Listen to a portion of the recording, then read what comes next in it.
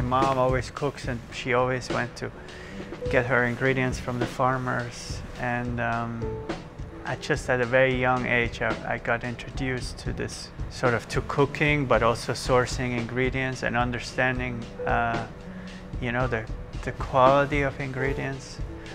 I remember one time uh, she was she was coming home and it was raining outside and it was in the fall and she brought home this mâche salad and it was covered in dirt.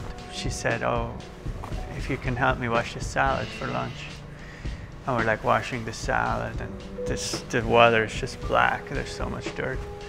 And uh, we washed it multiple times and um, I was complaining, obviously. I'm like, why do we need to wash the salad so many times? Like, why can you not just go and go to the supermarket? And, and then my mom stopped and she's like, you know what, let's, I want you to taste this salad. And we tasted it together and you know, the, the texture was like succulent, and, but there's also this sweetness to it.